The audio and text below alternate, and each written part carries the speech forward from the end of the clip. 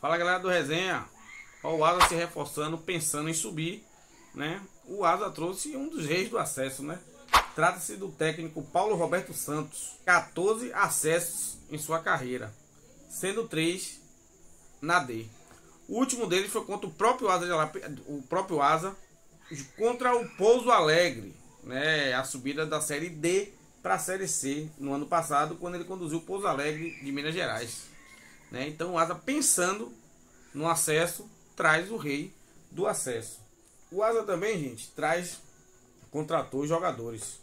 Um deles trata-se do lateral direito Iranildo Cruz, que atuou no primeiro trimestre de 2023 pela equipe do Juventus de São Paulo. Mas não foi só o, o lateral direito Iranildo Cruz. Vem mais gente para reforçar o Asa.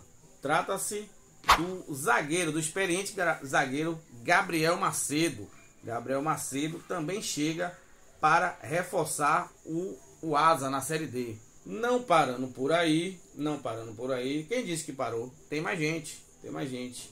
Trata-se do volante de 28 anos, André. Né? O volante Marcos Souza, que também chega para reforçar o Asa. Né? Ele atuou pela equipe do São Bento no Campeonato Paulista deste ano. E chega a Arapiraca na busca pelo acesso à Série C.